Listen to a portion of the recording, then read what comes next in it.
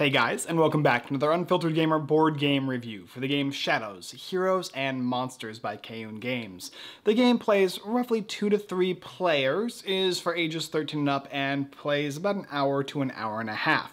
And in the game Shadows, Hero and Heroes and Monsters, you are going to be playing kind of a TCG mixed with like a tactical card game. You're going to be gathering a hero, their main deck or current deck, and of course their library, and you'll be able to customize the library if you'd like, uh, and uh, you're going to be battling against another player or players, as well as a monster or monsters. This is a PvPvE game, a player versus player versus environmental game, in which you're not only fighting against the other players, trying to gain victory points, but also against the monster in the middle of the field attempting to attack back at you.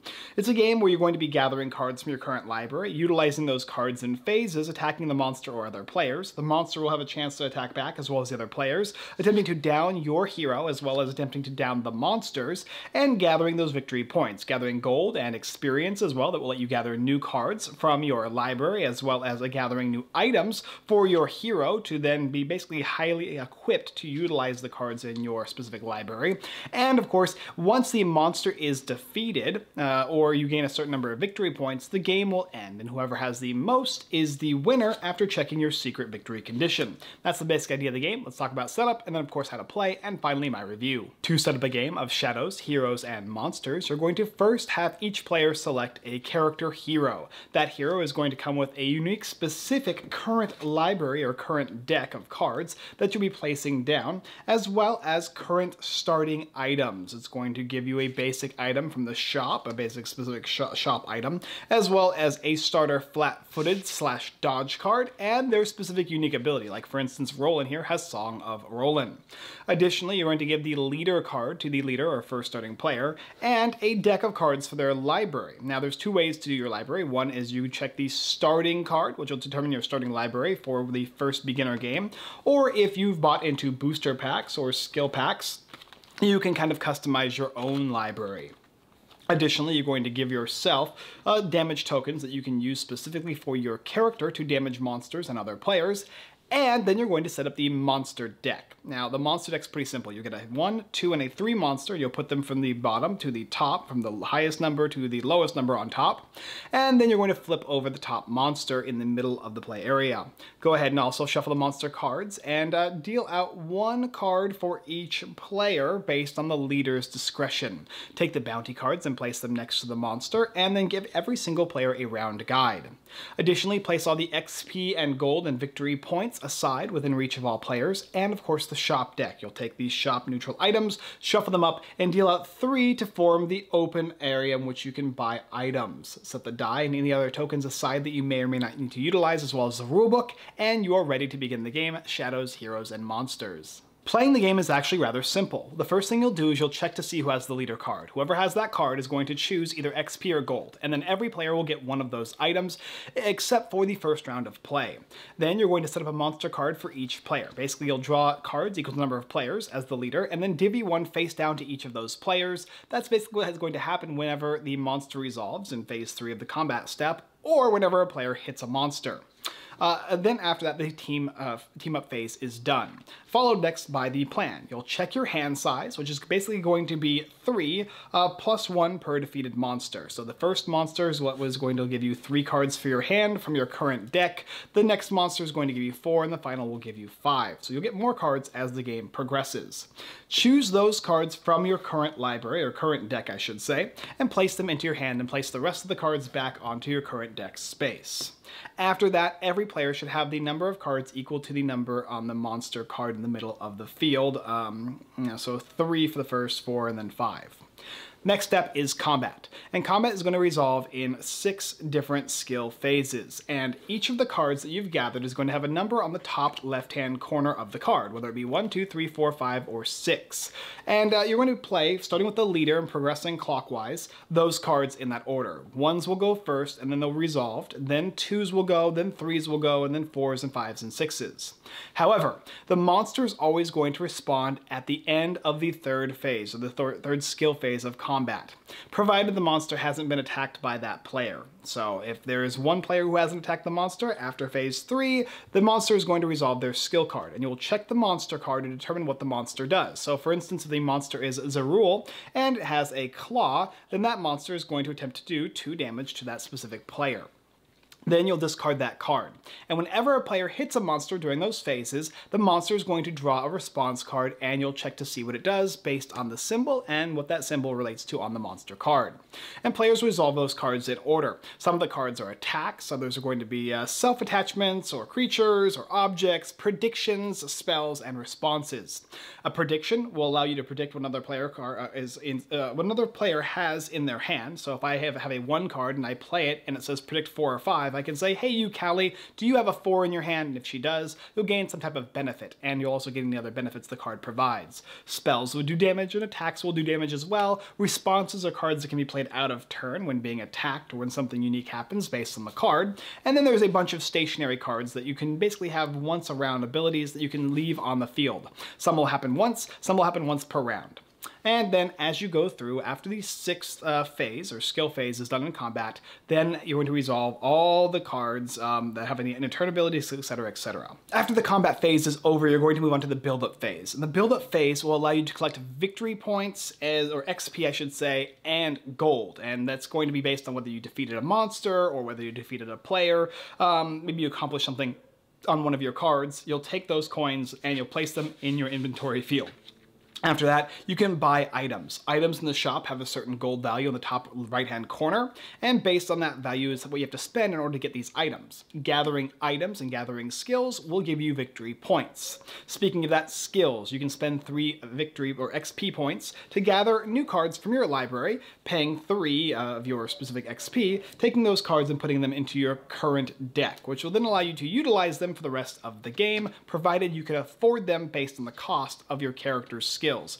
Each of your characters is going to have a attack, um, or, or, basically different colored symbol that will work with the card. So if it says do X or do red damage to target, then it'd be like do two damage to a target if your red is two. Or if it says shield for two yellow, well, or shield for yellow and your yellow is two, you would shield for two, etc., etc. And so you'll be buying these cards from the shop and of course from your library. After you've done that, then you can go ahead and move on to end of game triggers. How that works is pretty simple. It's like the cleanup phase. If somebody has received nine or more victory points, the game will conclude. The other way it will conclude is if the third and final monster has been defeated. Then, if that happens, you will all check your specific unique victory condition, or I should say end of game condition, and if you're successful, you will get uh, victory points uh, based on what the card says. Whoever has the most victory points at the end of the game is the winner. If not, you're going to remove all combat damage from the field, you're going to move all the cards back into your current deck, you're going to move any of your stunned cards in the combat field to the stunned area, you're going to resolve your dodge card if it had flipped based on taking damage to give yourself 1 HP, and you're going to pass the leader to the next player going clockwise. Then reveal the next monster if one has been defeated, refill the item deck for all the cards that are missing based on people buying them, and start over with the team up phase, allowing the leader to select one of the either gold or XP to give to all players, proceeding then on to drawing cards from the deck based on the monster, and then playing those cards in the combat phase. Build up, clean up, re refresh, and repeat. And like I said, once the game is over, based on whether or not you have a certain amount of victory points or whether you defeated that third monster, you'll check to see who has the most, and that will be the winner of the game Shadows, Heroes, and Monsters. Now there's a ton of cards, there's a ton of different things that you can do in the game based on what you have in your hand. The game is going to be going a back and forth type of a combat feel where I play my ones, then you play your ones, I play my twos, you play your twos, I play my threes, you play your threes. The monster will do any of their responses, can then continue, and of course, if you've attacked the monster more than once, the monster will continue to respond based on each attack you do to it. If you down players, if you down monsters, you're going to get rewards. And on the back of your round guide is a reward sheet. For every time you buy an item or a skill, you're going to get a victory point. When you knock down a hero, you're going to get a uh, XP, a gold, and you'll be able to um, do something else uniquely. Monsters, uh, knocking down a hero will give players gold. Your hero gets knocked down, you're going to lose points. And of course, if you kill a monster, there's a monster reward on that card that you'll get at the end of the game. There's also a bunch of symbols that are on this uh, chart here as well that will state how your cards work if you have any confusion among them. But that's basically the game Shadows, Heroes, and Monsters. And yes, there's quite a bit to this game, but I figured I'd give you the basic summary of how it works. So Shadows Hero and Monsters is kind of like a TCG mixed in with like a, a game like Warlords or like Magic the Gathering, Yu-Gi-Oh! Pokemon. It has that kind of a feel to it. Uh, however, you don't need to buy any additional things once you pick this game up as it stands. It's kind of a standalone game that has the objective of addition. It's kind of like a LCG or living card game, which I know you probably technically can't say, but you're going to be buying new things to add to here. I think these might even be randomized. I'm not sure, but you can get additional 30 skill booster packs, uh, 30 skill card booster packs that you can kind of allow yourself to make your own unique library for the characters you're utilizing. In this game here, what I have, which is a prototype, has four different characters. Each of those characters has their own unique current deck. They have their own unique skills, their own unique character card that has all of their abilities, and um, Um, you're kind of playing them all differently. Like for instance, when I'm playing Roland, Roland is kind of the defender. He kind of works with players and against players at the same time, kind of being a little bit tricky and also being very defensive. He has unique abilities that can protect him. Like for instance, Song of Roland is going to allow him to basically heal himself up, flip this over and gain invulnerability for a turn and then it's gone. Whereas somebody like this character over here, which is Audie, Audie is going to have a unique ability called Eyes on You. It's a little card that you can move to different targets that will do additional damage each round based on where this is at. And certain cards of hers will allow her to move this card kind of around to do additional bonus damage. And so you have a defender, an attacker, you have a stealther, all kinds of unique characters that function different ways. Additionally, the monsters are unique as well. The monsters are going to have different abilities. They're to have higher HP. All the characters have a certain amount of health. If you defeat them, you'll gain victory points or some type of bonus or some type of XP or gold. And as you go from one to the next, to the final one, that can signify not only victory, but also you'll gain a certain number of rewards. And they get better as the more monsters you fight, the more difficult the monsters are. And uh, typically, last hit rules apply, but separately. I have my own damage and you have your own damage. So if the monster has 8 health and I do 8 health to the monster first uh, from my damage, I will defeat the monster. Even if you have 7 on there, I still need to do the 8 damage in order for that monster to go away. And the first person to do that will defeat the monster and gain the rewards. Um, the game has beautiful artwork. It's very stylized. It feels a lot like um, some similar Magic the Gathering style artwork. It's really, really high quality. You can really tell that they took a lot of time to make sure that this game had some beautiful artwork. A ton of artists I see have been involved in making this, and uh, they do a really, really excellent job. This is probably one of the best Yes, probably one of the best kind of LCG, TCG type of a card games uh, that I've seen for artwork that isn't one of the big, huge ones. This one is got a ton of time and effort put into it. The cards are very easy to understand. While there is a lot of information on them, you can really, really grasp what they do just by simply looking at it without even knowing how to play the game.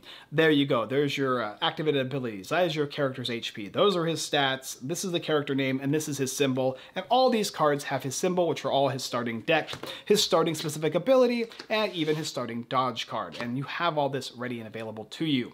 The difference between even the items is simple. The starting items you can select one of, and then the shop items just based on the backs. Really simple, really easy to use. The new items that you gain are going to give you unique stats like this uh, health element, yeah, which you can attach to your character right next to it, um, and it will give you some type of benefit. And this one here is going to be 2 to your HP. And so as you place them down next to your character, the stats will increase right next to it, which is a really, really nice design. The graphic design in this game is excellent, the artwork is excellent, and the card quality is excellent as well. A really great standalone uh, two to even three player game as far as all the design elements are incorporated. This game is got a bit of luck in it because uh, you are going to be able to draw cards from your deck. Uh, you're always going to have the same starting deck, and so will the other players. And uh, you're going to have the opportunity to kind of strategically choose when to play what cards based on their numbers, uh, but there's a limit to that, right? You have to play ones and ones and twos and twos and, two and threes and the threes skill time. Uh, the, the luck comes in to kind of who's going to be the first player? Will you get your damage off first? What cards does the monster provide? Because the monster deck is random. You might constantly be losing the ability to do damage to the monster by flipping over a card and it says prevent 5 damage, prevent 5 damage, prevent 5 damage, while the other player is getting, oh, shuffle the cards back into the deck, or uh, every player loses 1 HP. Response cards from the monsters are really, really nasty, whereas some of the other cards are not so bad, and that is where the luck factors into the game, whereas the main bulk of the game, which is your character, has a ton of the skill, ton of the strategy, being able to create your own unique uh, library that you're trying to utilize to improve your character as the game goes on, spending that XP, putting new cards into your current deck, which you'll then be able to utilize at the beginning of the round to add that card to your hand, provided you meet the requirements. And most of the requirements for the cards are easily met. And because of the fact that all requirements are able to be met for all characters, there's a lot of customization involved in the game that you can add just with these two basic starting skill 30 card skill decks here that you can kind of incorporate to the game high quality components. This is a great combat field. I would suggest if you're gonna pick this game up to get the Shadows, Heroes, and Monsters mat. It gives you an idea of where everything is placed, and you will then be notified where the combat field is. It's not too much more complicated than Magic, but it is a bit more, and if you're not really, really knowledgeable in this game, the first couple games on their own will be a little bit challenging to realize where everything is placed because it does have a difference. There's not really a discard pile per se. Most of it is all based on your player board, and most things go back into your current deck after you've utilized them, and cards will be moved from left to right back into your current deck from your library. Cards will be discarded that are item cards, and then there's cards that are equipped. And there's just a ton of different cards involved in this game. But in its core base concept, like most TCGs, it is a very simple, straightforward game with a ton of deep strategy and complexity, and the added kind of luck aspect of the monster. Is it really a PvE? Uh, not really. I mean, it kind of is PvE in the sense that that you are fighting the monsters, you don't have to fight the other players, and you can beat the monsters and gain points and victory points and utilize them for experience and gold and buying certain cards and buying certain items, and those will then allow you to increase your victory point total, and if the monster is defeated, you can tally up your points and win the game, but you always want to attack other players. There's a lot of cards in the game that involve you attacking other players. Sometimes you need to put them back down a notch, and in order to do that, it'll stop them from snowballing, and snowballing is a possibility in this game. That's one of the big things I've noticed. If you uh, start heading behind, other players start getting more stats and more skills, you're going to have to ramp up. You're not necessarily just going to be instantly able to access all the cards you want to access as quickly as you possibly can. There's no benefit to being in last place, uh, but there's also no benefit to somebody hitting you if you're in last place either. So there is a bit of a mixy, bouncy type of a feel to the game as well. Overall, I'm highly satisfied with the art, the graphic design, the character design, and how it's implemented as a game placement with the field is great, and it feels great to utilize your cards. It has a rock, paper, scissors feel, which is nice because it kind of gets very, very very complex, but it starts simple, and you kind of push yourself into more complexity as you kind of integrate the cards you want into your starting deck, and that feels wonderful. Fighting the monster is cool, being able to fight the characters or the monster and having that choice has kind of more of a social dynamic, which I didn't expect to see in this game is great as well. Not a huge fan of how the monster deck works and the fact that it's randomized and you might get unlucky and you might get lucky based on what the monster does to you. And yes, there is choice involved, which is nice, where players, the leader, will get to choose between the two cards where they're placed, but when it's not your turn, very much so expect to get a response or an attack as opposed to not. And so mainly on your turn is when you're going to be doing a lot better than on any other player's turn when they have the leader to start the game off with, or I guess the leader card in front of them. And I'm not really sure of a better way to do it, but it just kind of annoyed me every single time it was somebody else's turn with the leader, and I always got a card that was going to mess with me. And in addition, whenever the monster did respond, I had a likelihood of getting a response more than other players just based on my luck of what was going to pop up. But they did a good job of mitigating that, and there's definitely more strategy in this game than there is luck, which is important to me in most TCG player games, especially with the fact that you're not shuffling a deck, you're not randomly drawing cards, you get to select what it is that you want. This is a game I can see a lot of people wanting to pick up. People who really enjoy TCGs, people who like LCGs, people who enjoy this kind of tactical combat utilizing one specific character with a variety of different uh, assets and items that they can kind of upgrade their character throughout gameplay is going to be something they're going to want to jump on. If you like high quality artwork and a solid TCG slash LCG type of an experience with a unique twist of fighting a monster, then Shadows, Heroes, and Monsters is going to be for you. If you don't like the added luck element of the monster, the fact that you might always, you might get kind of messed over sometimes, you might get uh, responses that kind of trigger mm, against you when you don't want them to, and there's a possibility of a snowball effect, then you might not like it. For me though, overall a solid game and something I recommend you taking a look at down below in the link in the description. Thank you guys for watching another Unfiltered Gamer board game review for the game Shadows, Heroes, and Monsters. If you want to pick up the game, there's a link down below in the description. Like I said, you can also go ahead and like, comment, and subscribe to this channel. Hit that subscribe button and the bell notification button. Watch our live stream every Sunday at 6.30 p.m. PST where we play games just like this one. This week we're playing The Fog and Anastasia, where you can see us playing some pretty cool games that are going to be coming up on Kickstarter. You can also go ahead and donate to us on Patreon for $1. It'll help us greatly and create more content, be able to do Discord stuff, live stream stuff, etc., etc.